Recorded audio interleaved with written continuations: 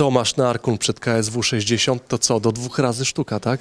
Dokładnie. Ja sobie powiedziałem, że jeżeli teraz mi się nie uda, no to już nie będę chciał walczyć o ten e, ciężki pas, o pas kategorii ciężkiej, dlatego też, no tak jak mówisz, do dwóch razy sztuka. Jesteś podobno dużo lżejszy, Phil z kolei nabrał trochę masy. Skąd taka taktyka u Ciebie? No ja teraz postawiłem na szybkość, wytrzymałość, Filip na pewno na siłę, dlatego też no, będzie to ciekawe starcie. Myślę, że teraz e, siła e, przegra na rzecz szybkości i wytrzymałości. Treningi, sparingi chyba były mocne, widzę oko podbite, teraz trochę przypudrowane pewnie na potrzeby Media Tutaj Day e, KSW. No dokładnie, no, nie ma miękkiej gry, ciągle, ciągle e, pracujemy bardzo ciężko, dlatego też no, gdzieś jakieś takie małe uraziki się zdarzają, ale całe szczęście, że i tak wychodzę bez e, kontuzji do sobotniego starcia. Tomek e, w taką medialną pyskówkę z Philem De Vriesem. On dzisiaj tutaj w rozmowie z nami twierdził, że gdyby to była runda MMA, to wygrał ją 10 do 7.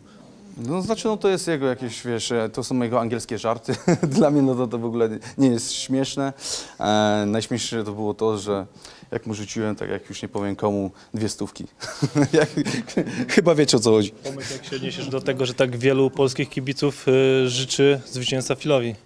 Znaczy, ja mam, ja mam cudownych kibiców, mam cudownych fanów, e, tysiące wiadomości dostaję. Nie wiem, kto życzy Filowi. Jeżeli ktoś życzy, no to oczywiście to jest jego prawo. Z tym, że no, ja tysiące wiadomości dostaję od swoich e, najlepszych fanów. E, Są najlepsi, najukochańsi, dlatego też no, ja tego nie widzę. Chodzi mi bardziej o komentarze w internecie. Czy, czy, czy też to zwracasz uwagę? Ja nie czytam w ogóle komentarzy, także nie wiem kto, co, jak e, typuje. E, ja tylko wiem tyle, że no mówię, widzę swoją skrzynkę odbiorczą tak e, e, na Instagramie i Facebooku, no to tysiące wiadomości e, od fanów, wsparcia. Na ulicy tak samo dużo wsparcia. Nie spotkałem się jeszcze z nikim, kto by podszedł do mnie na ulicy i, jakoś w jakiś negatywny e, był e, e, sposób do mnie nastawiony, dlatego też no mówię, no kibice są najlepsi moi. Tomek, ale powiem Ci, że polski łowca skór Mirek Kokniński przyznał, że jest w Narkun Team. O, super, super. Pozdro Mirek Kokiński. Czyli to Ty prosiłeś właścicieli KSW o tę walkę, o rewanż z Filem? E, tak, dokładnie, dokładnie. E, to ja też e, zabiegałem o ten rewanż. To też na pewno się złożyło to, że jakby w swojej kategorii wagowej e, ciężko mi teraz znaleźć już jest e, rywala i dlatego też no, federacja na to przystała, żeby jeszcze raz e, się zmierzyć e, o pas kategorii ciężkiej. Mamy się spodziewać pełnego dystansu? No myślę, że ciężko teraz się spodziewać pełnego dystansu. Myślę, że pierwsza bądź druga runda e, przez knockout. A powiedz e, właśnie te e, takie medialne przytyki od Phila De Vriesa, bo w Koloseum też podobno gdzieś tam prób- próbował Cię zaczepiać. Czy jest taka dodatkowa chęć, żeby utrzeć mu w sobotę nosa? Znaczy jedyną rzeczą, jaką potrafię, no to wiesz, pokazywać dupę, to tylko tyle. nic, nic, nic innego, jeszcze te angielskie jego żarty, takie suchary, że Karolek na pewno lepsze opowiada niż on. E, no i co?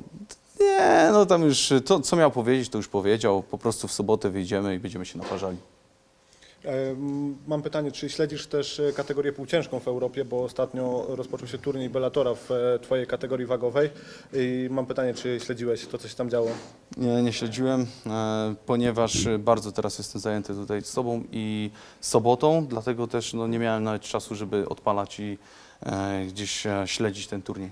To ile Tomek wniesiesz e, do walki, jeżeli chodzi o wagę? No myślę, że e, waga mniej więcej będzie oscylowała tyle, co w, e, dniu, swojej, e, w dniu walki swojej kategorii wagowej, koło stówki, e, także no, stawiam na szybkość, e, zobaczymy, co z tego wszystkiego wyjdzie.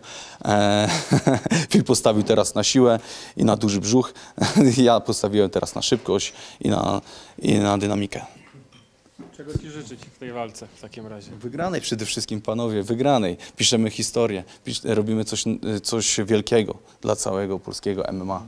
Co dalej po ewentualnym zwycięstwie z Filem? E, planujesz się jeszcze wyżej uderzać, czy zostajesz w KSW już na lata i chcesz mieć status legendy? Ale pytanie, znaczy wiesz co, ja się skupiam tylko i wyłącznie teraz na zadaniu, które federacja postawiła, czyli muszę pokonać Fila, później będziemy się zastanawiali, co dalej. Na dzień dzisiejszy chcę tylko i wyłącznie się e, skoncentrować na zadaniu, a czas pokaże, czas pokaże. Życie, życie pisze różne scenariusze, życie jest e, tak nieprzewidywalne, że nie wiadomo, co nas czeka e, za kilka godzin, a co dopiero co dopiero rok, dwa, nie wiadomo, nie wiadomo. Ciężko jest powiedzieć. Phil często podkreśla, że KSW mu dało takie drugie życie, że miał depresję, nawet pisał, że miał problemy z alkoholem. Tobie taka przemiana się podoba? No fajnie, no jeżeli ludzie się zmieniają na lepsze, no to fajnie, czemu nie? Filip miał też urodziny ostatnio, powiedziałeś, że prezent e, dostarczysz mu w sobotę. E, Co to za prezent dla niego szykujesz? To już nawet nie wiem, gdzie tam pisałem, być może tak pis- napisałem gdzieś. No na pewno chodziło o to, że no taki prezent, że, że będzie musiał mi oddać pas. To taki prezent z mojej strony, że dostanie bombę. Tomek, a chciałem, żebyś jeszcze skomentował słowa Wojsława Rysiewskiego, który powiedział, że jeśli pokonasz e, De Vriesa, to staniesz się najlepszym zawodnikiem KSW w historii. E, Tak jak, tak jak wcześniej powiedziałem, nie chciałbym teraz wybykać w przyszłość. Teraz e, jestem tylko i wyłącznie skupiony na teraźniejszości, na sobocie. Zobaczymy, co z tego wszystkiego wyjdzie. Jeżeli zdobędę ten mistrzowski pas, no to wtedy na pewno będę głośno krzyczał, że to ja jestem najlepszym zawodnikiem w historii federacji. Dziękujemy. Dziękujemy. Dziękuję bardzo, pozdrawiam.